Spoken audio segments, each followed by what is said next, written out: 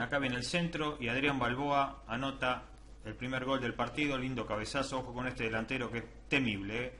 muy buen delantero, excelente, viene el centro, cabezazo, él se elevó más que nadie y anota el primer gol, nada puede hacer Olave, 1 a 0.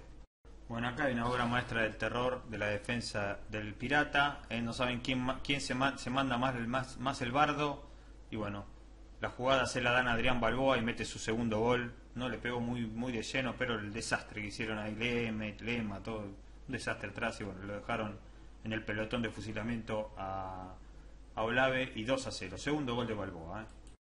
Estaba el remonte del Taca Bieler, bien pateado después de un penal que hizo el arquero Cherini, que es una vergüenza lo que hizo, le pegó una trompada, dos trompadas prácticamente al mismo Bieler. Increíble el que hizo y acaba Bieler y, le- y acerca el partido. ¿eh? Se le complica a Sarmiento porque descuenta